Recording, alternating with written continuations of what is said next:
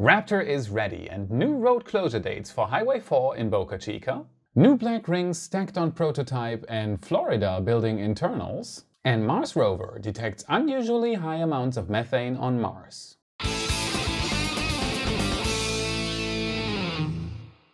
My name is Felix and I am your host for today's episode of What About It. The 4th of July has passed in the United States, and as the fireworks smoke settles, we get a clearer view into space again. A lot of things have happened in the past few days, so let's dive right in. SpaceX has quietly been polishing SN06 and getting rid of problems they had with SN05. It just didn't behave the way SpaceX would have wanted it to behave. After Raptor liberated its oxygen turbine stator, SpaceX had to redesign and test a few parts. As it seems right now, this test might finally go as planned. According to Chris Bergin from NASASpaceflight.com, SN06 was at the test facility in McGregor, Texas and is now being prepared to be shipped to Boca Chica this week. Just yesterday, Elon tweeted that the 600 Hz problem they had causing the oxygen turbine stator to come apart seems to be fixed. In McGregor, the new and improved Raptor went through its paces and passed. That would fit with new road closure dates recently released by Brownsville County. New road closure dates for Starhopper and Highway 4 in Boca Chica. It's been a while since I last updated you with new road closure dates for Highway 4 in Boca Chica. According to County Judge Eddie Trevino Jr., Highway 4 in Boca Chica will be closed for SpaceX launch test activities on the 14th and 17th, with alternate dates on the 15th, 16th, 18th and 19th.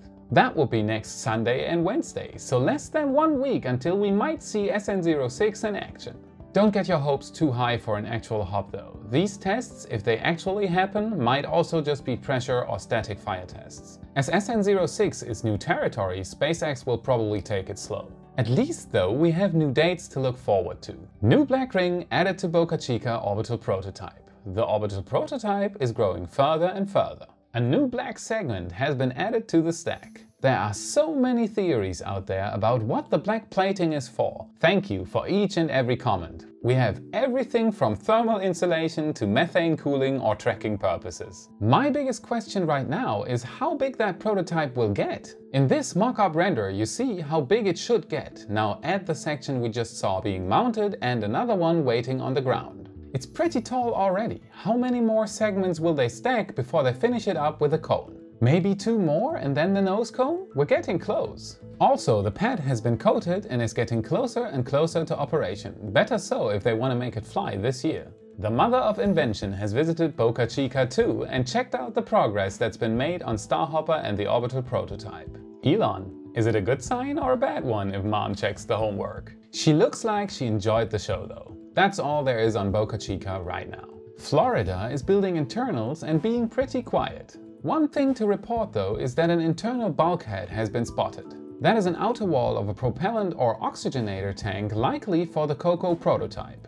As they are further with the external build than Boca Chica, they're likely to build the internals right now. So expect them to build more internals than externals in the near future. But enough of SpaceX now. What is NASA doing?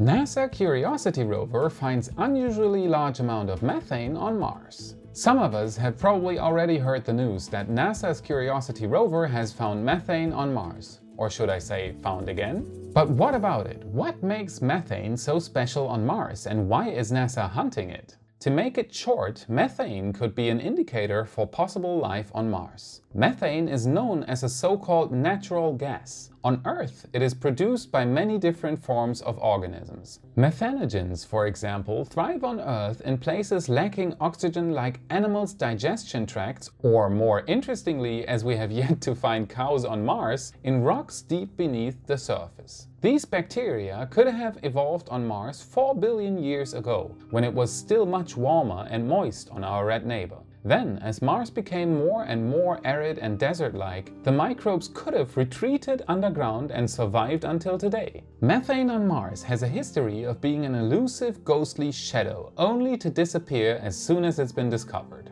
Normally, Mars's atmosphere has very little to no methane as methane tends to get dissolved by natural processes such as UV radiation or recently proposed rock corrosion as it binds to substances inside Mars's surface. The first clues for methane on Mars, even though there should virtually be none, came from NASA's Curiosity rover and Mars Express, a European satellite orbiting Mars. Both detected a puff of methane of up to 7 parts per billion back in 2013 that lasted for two months. Since then, scientists searched everywhere, even with new equipment like the European Trace Gas Orbiter. The ESA's Trace Gas Orbiter is a satellite specially designed to find smallest amount of gas concentrations in Mars's atmosphere. For this, it's orbiting Mars in a low orbit at about 400 kilometers from the surface, and it found none. Then, on June 19th this year, Curiosity smelled methane again in Gale Crater. This time up to 21 parts per billion. That's three times the spike from back in 2013. Scientists at the Jet Propulsion Laboratory in Pasadena immediately rescheduled the weekend's science tasks to be able to make more measurements, only to find out after the weekend that the methane was gone again.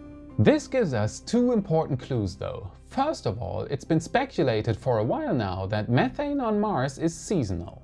In summer there's more than in winter. This would speak against methane created by geothermal activity as that would not be bound to seasons. The second important clue is that methane seems to be local on Mars, only created in certain times at certain places. This, on the other hand, speaks for another theory out there that the methane is from the planet's past that it was stored in the Martian crust a long time ago and that when a crack appears, a short puff of methane is released. The hunt continues though. Where there's methane, there could be life.